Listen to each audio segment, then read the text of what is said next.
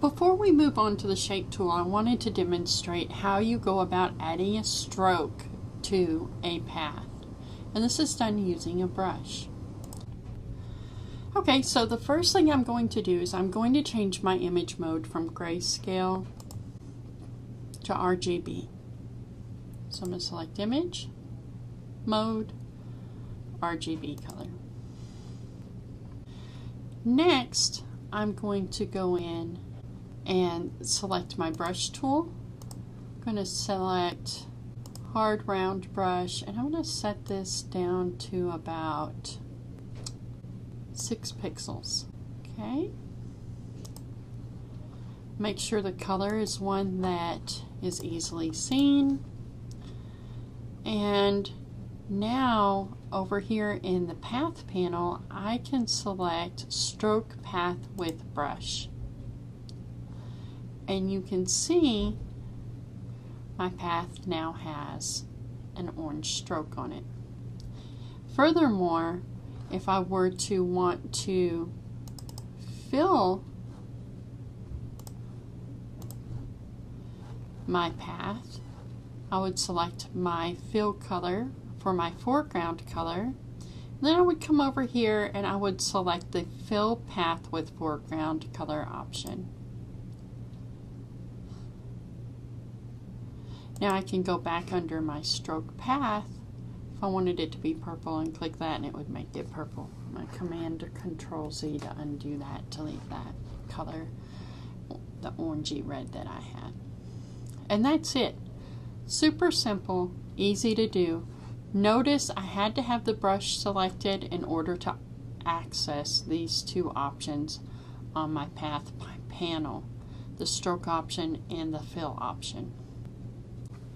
Now, additionally, if I were to create another path, I'm going to do a new layer, Command Shift N, click OK, and I'm going to use my pen tool, and I'll just create a quick path there. Now, I can go to my brush and I can select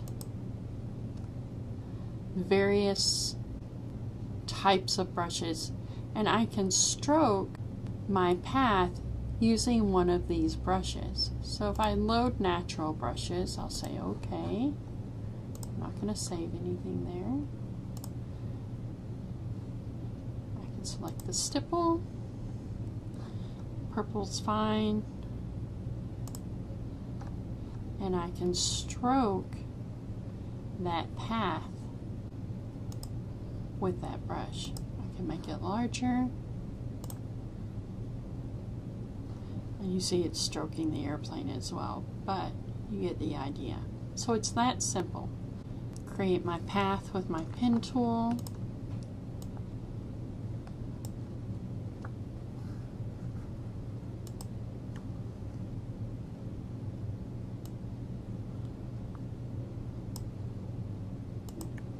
There we are. Now I'm going to select a brush, load a different brush maybe. We go in here, maybe even select, I'll reset the brushes. OK. Come down here, select maple leaves.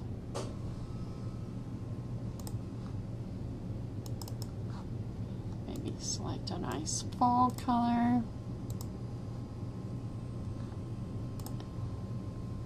And there we go. Super simple to do.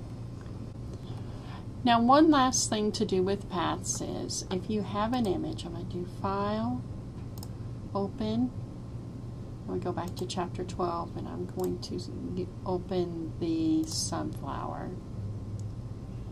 So I'll click Open. You can use your pen tool to create selections. So let's say I was wanting to select this sunflower.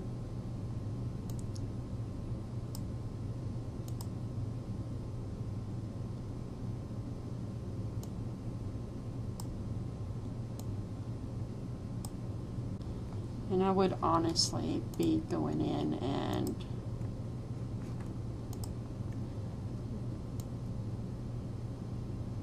removing most of these handles. As I go through here to create a much more accurate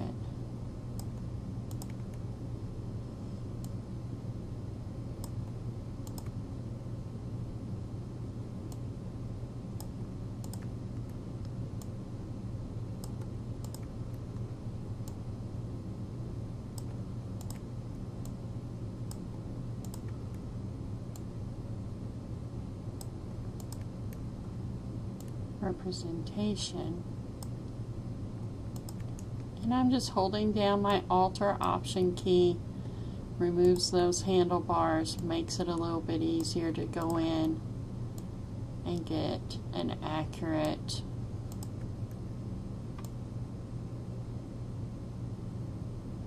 selection or path created here.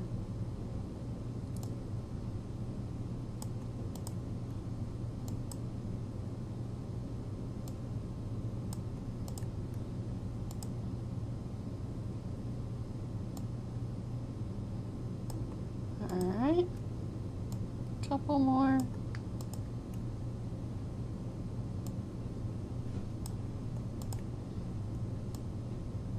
And so if you were wanting to create a selection of this sunflower, what you would do is you would go around and you would outline the entire flower.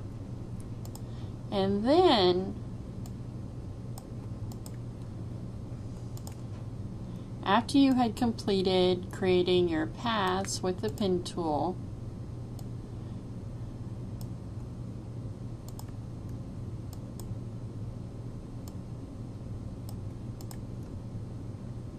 you would go to your path panel.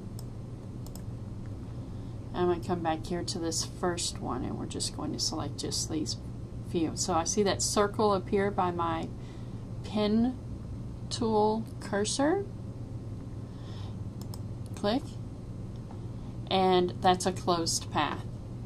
Now right here in the bottom of the path panel, I can load the path as a selection. And so that's what I'm choosing to do here. And since I've got that selected, now I can do a Command J. It's creating a new layer off just that area I had selected using my pen tool. And I can refine my selection by feathering, etc., as we learned about earlier in previous tutorials. Additionally, I could use that selection and create a mask as well. And so all I did was create my selection and then click my mask button at the bottom of my layers panel. And so that using it to create paths, to make selections, to make shapes, vector shapes that can be stroked and filled, saved for future reference, masked, etc.